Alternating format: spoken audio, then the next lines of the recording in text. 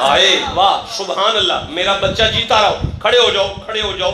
हाँ अब दोबारा से पढ़ो ऊँची आवाज़ से।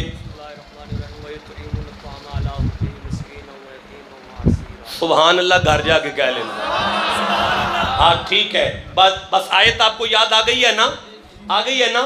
हसनैन बीमार थे। हसनैन बीमार थे। इमाम हसन बीमार हो गए। इमाम हुसैन बीमार हो गए, बुखार हो गया, रब की बारगाह में सैयदा फातिमा ने अर्ज़ किया, मेरा अल्लाह मेरे बच्चों को शिफा अता फरमा, मैं ना तीन रोज़े रखूँगी। मौला अली ने अर्ज़ किया, हसनैन को शेत अता फरमा, मैं अली भी तीन रोज़े रखूँगा। आपकी नौकरानी ने अल्लाह की बारगाह में अर्ज़ किया, मेरे मालिकों को सेहत अता फरमा, मैं भी तीन रोज़े रखूँगी। मेरा आपसे वादा रहा, अगर मैं ज़िंदा रहा तो इस आयत पे बाकायदा खिताब होगा। फिर इसे डिटेल से पढ़ेंगे। अब ये जिमनी तौर पर पढ़ी जा रही है तो जिमन में जिमन ही होता है। भाई, तीन रोज़े रख दिए गए। लेकिन जब इफ्तारी का वक्त आया तो दस्तक हुई, इफ्ताहली, या अहलल बैत बाबुल जन्ना वारिसाने जन्नत दरवाज़ा खोलें। सुना है, जिसे कहीं से कुछ ना मिले, वो भी इस दरवाजे से खाली नहीं जाने वाला। दरवाज़ा खोलें। आवाज़ आई, कौन है? बाहर से आवाज़ आई, अना यतीम, मैं हूँ यतीम, और मुझे खाना चाहिए। मौला अली ने अपना दिया, सैयदा फातिमा ने अपना दिया इमाम हसन ने अपना दिया, इमाम हुसैन ने अपना दिया, बीबी फिजा ने अपना दिया, मांगने वाला एक था, मांगा उसने एक का, मिल गया सारे टब्बर का। हाय हाय, मांगने वाला एक था और मिल गया सारे टब्बर का, इसलिए कि ये अली का दरवाज़ा था, यहाँ से एक के लिए मांगा जाए तो टब्बर का मिलता है। भाई जियो जिसे समझ आई है बात की। चलो जी, सारे टब्बर का लेकर वो चला गया। सैयद भूखे रह गए। इफ्तारी पानी से करके नमाजे पढ़ के फिर सो गए। फिर अगला रोजा रखा गया। लेकिन शाम को इफ्तारी का वक्त आया तो फिर आवाज़ आई, अना मिस्कीन याली मैं मिस्कीन हूँ। मिस्कीन हूँ, मौला।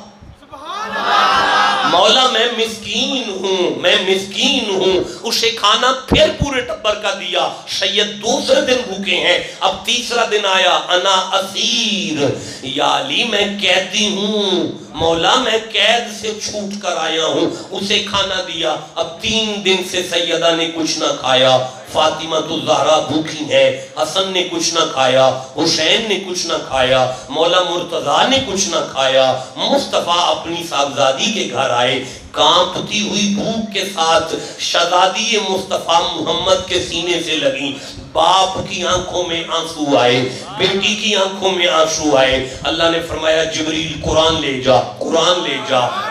जबरील कुरान ले जा और जाके कह वही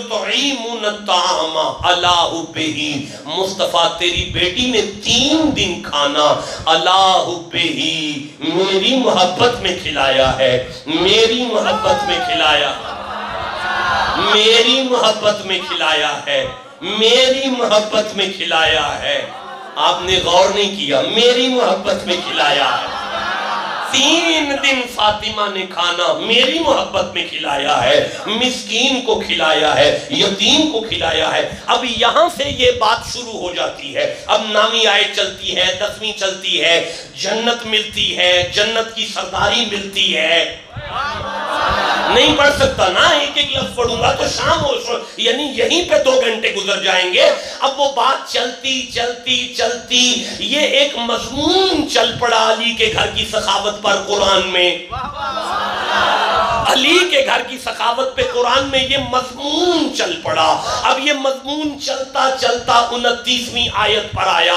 अल्लाह ने फरमाया, इन्ना तस्किरा तुम शक ना करना, ये जो तस्किरा है, फमन शाह फापस मन जो कोई भी हो, शाह चाहता अतखदा पकड़ ले, इला रबी ही अपने रब की तरफ़, सबीला उसका रास्ता, जिसका जी चाहे मेरे रास्ते का दामन पकड़ ले।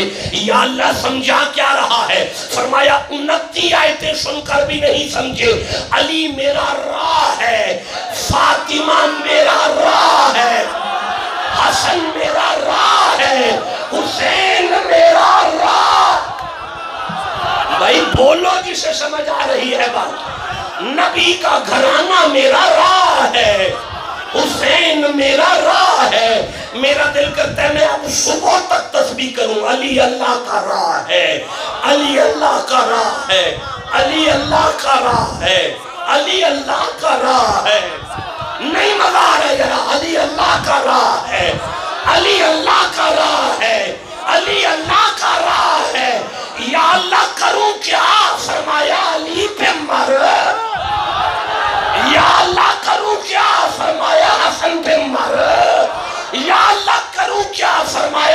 फातिमा की दहलीज पे मर।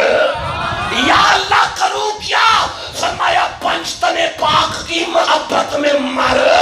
या अल्लाह होगा क्या? फरमाया, ज़िंदगी दूँगा। ज़िंदगी दूँगा। ज़िंदगी दूँगा। इसलिए कि मेरी राह है पंचतने पाक। आपको कुरान की समझ आ रही है? देखें मैं आगे पढ़ना चाहता हूँ।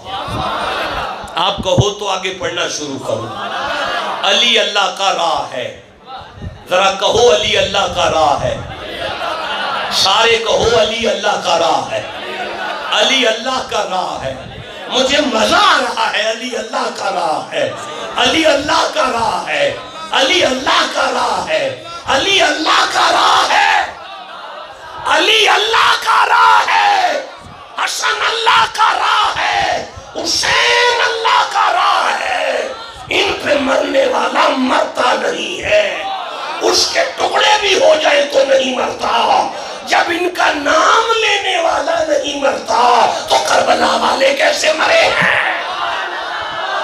बोलो, जिसे समझ आ रही है, मैं आगे बढ़ू ये पंज तने पाक अल्लाह का राह है। ये पंज तने पाक अल्लाह का राह है। यूँ खड़े हैं मस्जिद नबवी के मिंबर पर मुस्तफ़ा और जुमा पढ़ा रहे हैं। नहीं पढ़ता अगर नहीं यूँ खड़े हैं मस्जिद नबी के मिंबर पर मुस्तफ़ा और जुमा पढ़ा रहे हैं। नहीं आगे चल सकता। मुस्तफ़ा जुमा पढ़ा रहे हैं। मस्जिद नबी का मिंबर है और हुजूर खड़े हैं। अचानक एक पर्दा हिला। सुर्ख कपड़े पहने हुए हसन आए। मस्जिद में आते हुए हसन को देखकर ज़ुबान पर कुरान है जुमे का खुतबा है, निगाहों में हसन है। मुस्तफ़ा की आँखों में हसन है, कैसा जुमा है। अब मुहदसीन कहते हैं कि हसन थोड़ा लड़खड़ाए, गिरने लगे थे। कि नबी ने खुतबा रोक दिया और मिंबर पर बैठ गए, खामोश होकर। लेकिन हसन गिरे नहीं, पीछे हुसैन आ गए। अब नबी देख रहे हैं कि अल्लाह का राह चलता आ रहा है। आए हाय, पीछे हुसैन आ गए। मुहदसीन कहते हैं, हुसैन जब लड़खड़ाए तो नबी ने मिंबर छोड़ा। मस्जिद में सिहाबा मौजूद थे। अगर चाहते तो किसी सिहाबी से कह देते, उठाना मेरे बच्चों को, कसम मुझे मेरे सामने पड़े हुए कुरान की। कसम मुझे मुस्तफ़ा के इस मिंबर की, कि मुस्तफ़ा ने मिंबर छोड़ा और मिंबर छोड़कर मस्जिद के कोने पर पहुँच के अपने शगादों को उठाया और मिंबर पर वापस बैठकर दाएँ जानू पर हसन को बिठाया, बाएँ जानू पे हुसैन को बिठाया। अब मिंबर पर बैठे हुए नबी ने खुतबा छोड़ा, कभी हसन को तकते हैं, कभी हुसैन को तकते हैं, कभी हसन को तकते हैं, कभी हुसैन को तकते हैं। ये वही है जिन्हें कुरान अल्लाह की राह कह रहा है। ये वही है जिन्हें कुरान अल्लाह की राह बता रहा है। अब कभी हसन को तका, कभी हुसैन को तका। अब मोहम्मद मुस्तफ़ा ने दोबारा कुरान शुरू किया और खुतबा शुरू हुआ। जिस आयत से मुस्तफ़ा ने शुरू किया, मैं वो आयत पढ़ना चाहता हूँ। सूरह तगाबुन की आयत मौलाना गुलाम रसूल सईदी ने अपनी तफसीर में इसे नकल किया है। इस वक्त जो मैं पढ़ रहा हूँ, सूरह तगाबुन की आयत से बात को शुरू किया इन नमल व औलादुकुम फितना। मुस्तफ़ा ने फरमाया, मेरे सहाबा अल्लाह ने बरात फरमाया है कि औलाद वालिदैन और बुज़ुर्गों के लिए आजमाइश से कम नहीं होती। मुझे नहीं बर्दाश्त हुआ कि मेरा हसन गिर जाता। मुझे नहीं बर्दाश्त हुआ कि मेरा हुसैन गिर जाता। खबरदार कोई ये ना समझे कोई नाना अपने नवासे से मोहब्बत कर रहा है।